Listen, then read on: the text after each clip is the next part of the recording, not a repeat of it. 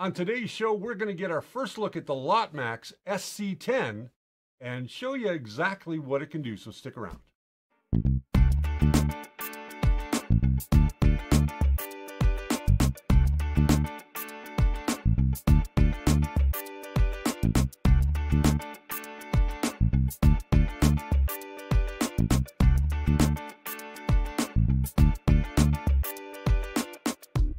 Hey gang, welcome back to the First Layer. My name is Richard Cleveland, and this is the show that explores the world of 3D printing. On today's show, it's no different. We've got our review of the Lotmaxx SC10, which is this beautiful printer right here. I want to give you full disclosure that this is not a sponsored episode by Lotmaxx. Full disclosure, they did send me the printer and asked me to play with it and have a look at it and give my honest review. So they are not paying for my words and my words and opinions are all my own. Now, this show is not also for children. Uh, we want to make that perfectly clear as per the new COPPA rules. So, let's talk about the SC10 from Lotmaxx. It has a 250 by 250 by 270 build volume. Uh, so, it can do kind of that right in between of your Ender 3 and your CR10. Is it worth the money? Absolutely it is. It's a very well built machine. It has a touchscreen on the front. It has a very similar, love that sound, has a very similar head to the CR10. This is kind of their um, look at competition of the CR20, which if you've never seen a CR20, it looks almost identical to this machine with the uh, difference that it has a dial instead of a touchscreen. This one has a wonderful touchscreen. We'll get a nice close-up of it for you a little bit later. It is fully enclosed. This machine has a 350 watt, 24 volt power supply, which is by our good friends at Meanwell.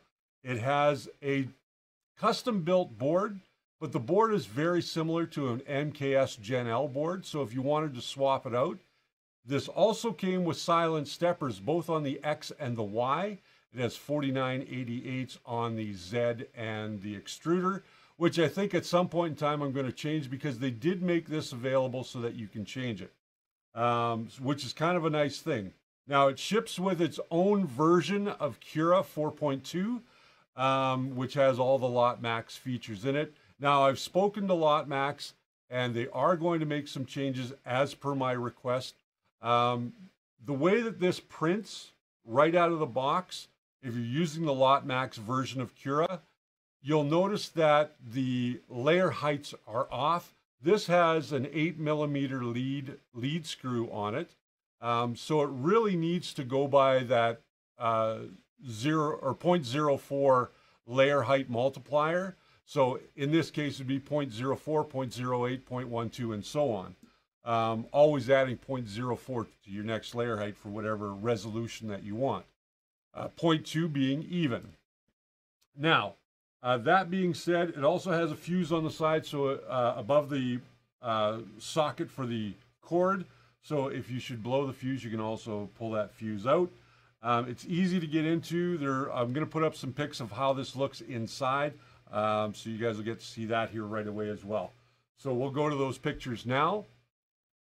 And as you can see, um, it is very well laid out and clean inside this uh, particular machine. Um, there you can see the, the power supply and you can see the board there as well. Very cleanly routed wiring, very easy to get at everything and make changes to the stepper drivers if you so choose. Again, you can change those last two stepper drivers, which are green in this case.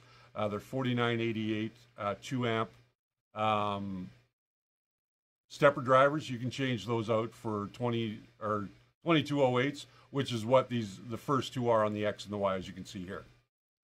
Okay, so how does it print? Well, I went to Make and I downloaded Make's uh, accoutrements of different tests that they do.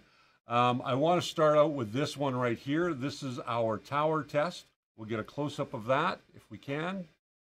I believe Angus from uh, Maker's Muse also used these tests recently, and I, I find them to be a really good measure of how does this print out of the box.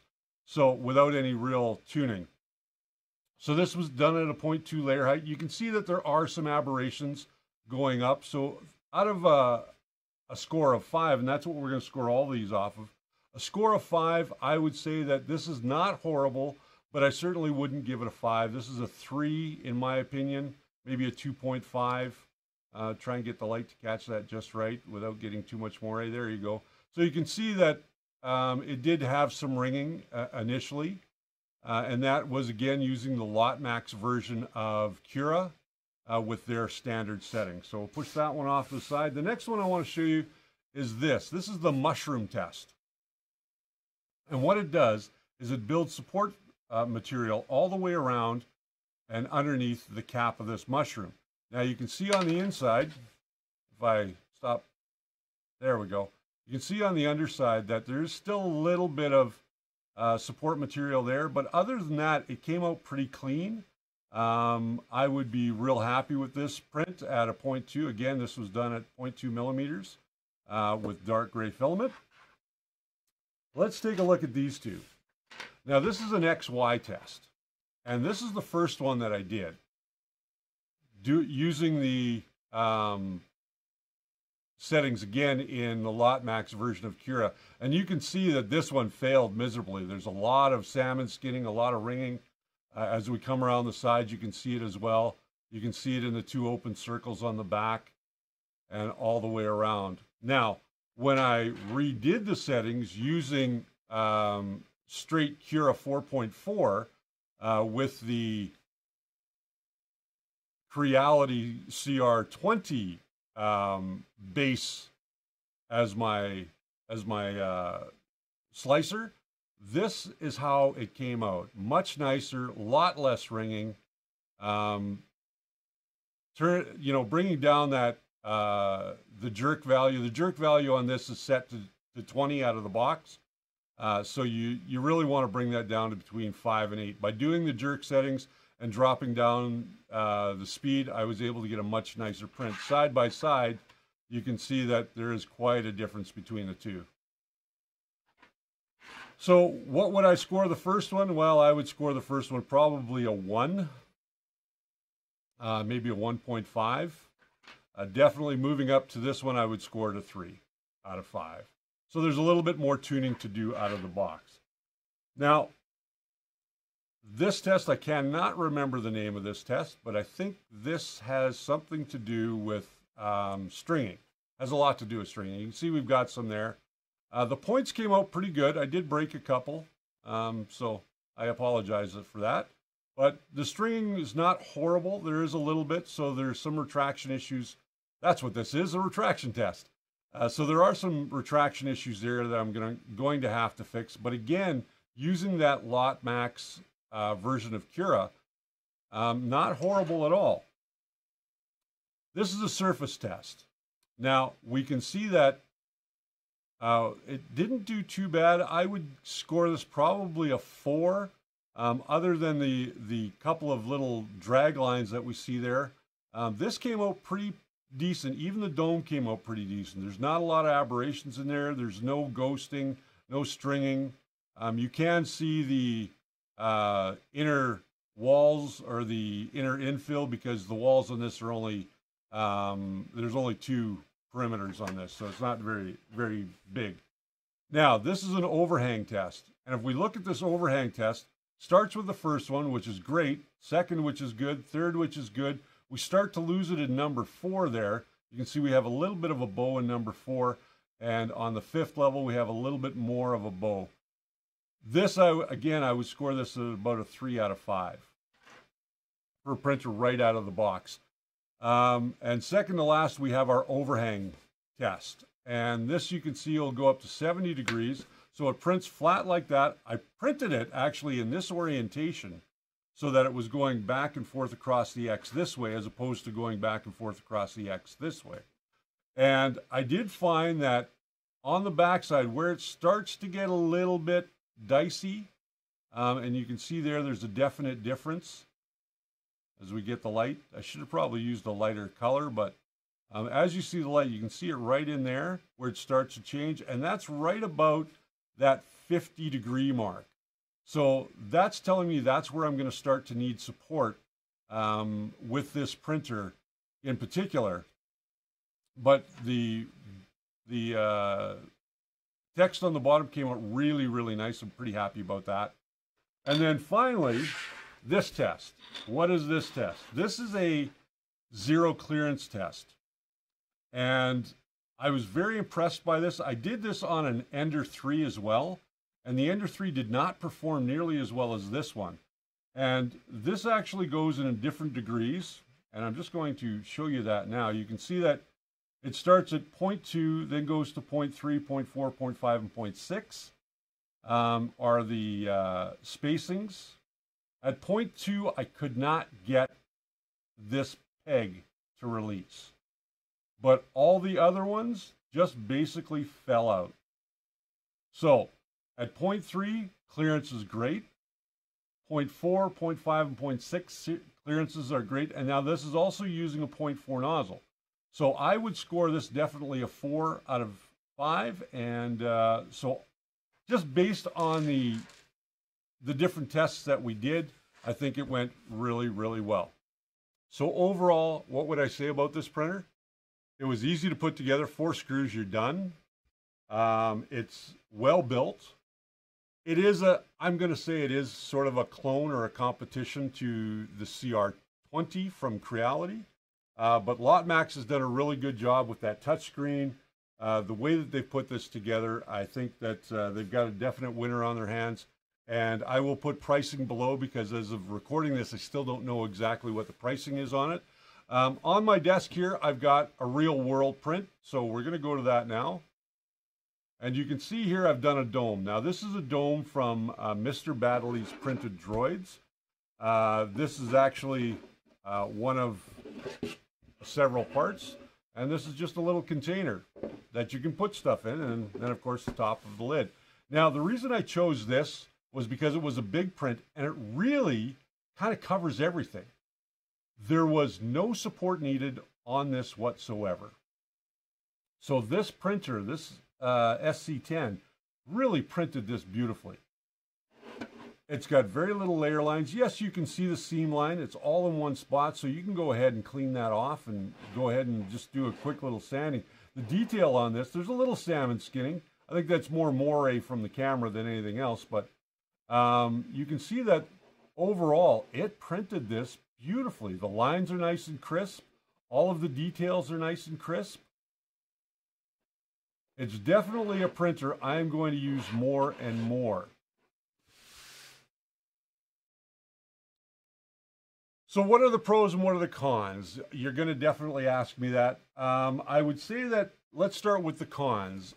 The bed mat, I'm not a big fan of. These bed mats were the same ones that they used on the early Enders, which is like a polypropylene substrate on the bottom. And then on the top, they've just got uh, a, what feels like uh, and, and basically operates like a piece of BuildTak, um, their own brand, of course, branded their own way. These I'm not a big fan of because the polypropylene is so thin this is like circuit board material. It's easy. You could crack this pretty easy if you bent it too far. Um, I prefer this more solid polypropylene or glass. Um, the bed is very easy to level uh, on the pro side. Uh, one more con that I would say to this is that when you're lining this up to get the, the wheels um, exactly right, you really should use uh, two items on either side, one on either side that are exact same height. Line this up before you put the lead screw in. You guys know that I say that all the time when it comes to uh, building 3D printers. The lead screw should be the last thing that you put in so that you know everything's aligned to the frame and everything is square. Now, we're not going to call this uh, level because leveling is a whole different issue. What you want to make sure is that this upper set is square to the rest of the frame and you want to make sure that this x-axis is square to the frame. So you're going to take two items, one on this side, one on the other side that are of equal height. You're just going to bring this rested down, adjust your eccentric spacer so none of your um, wheels move, and uh, you should be in good shape. Now, the other con to this is that it does utilize that Creality like hot end. Um, it is almost identical to the Creality hot end.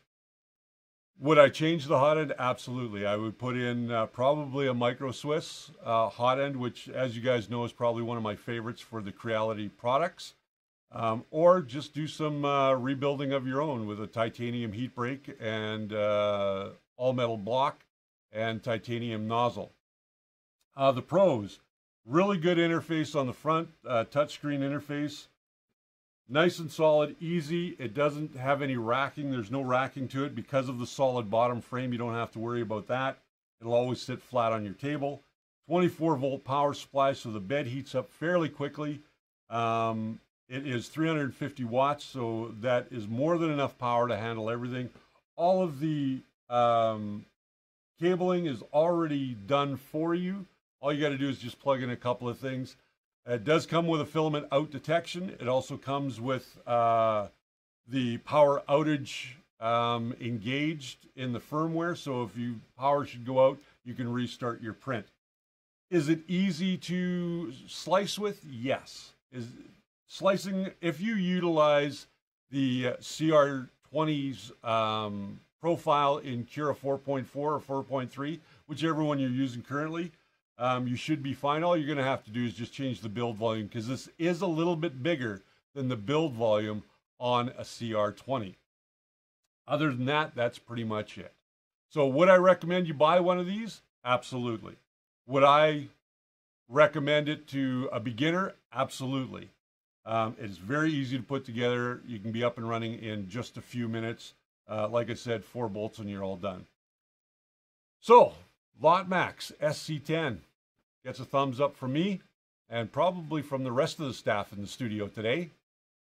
There we go. Here they come. Dun, dun, dun. Both Brian and Jess are here today. We're going to thank them for coming in and helping out. I want to thank my lovely wife, who without her, I wouldn't have come in today. I would have stayed at home and watched The Mandalorian. You caught up. Binge watch it, I guess. I want to thank Spool 3D because without them, we wouldn't have this wonderful studio to bring you guys all of the reviews and how to's that we do. And uh, you can get anything that you need from them. Uh, just check out their website at spool3d.ca. They've got everything you need from printers. They don't have this one, but they do have uh, the Creality products. So you can check out their printers, their parts, their accessories, and of course, filament. Check them out today at spool3d.ca. Print it right, print it with Spool 3D. Well, that's my time. I'm going to get out of here. I'm going to call it a day and uh, just go home and relax. Maybe mix myself a drink and watch The Mandalorian. Catch up. All right, until next time, my friends, please remember that the first layer is always your foundation to a great print.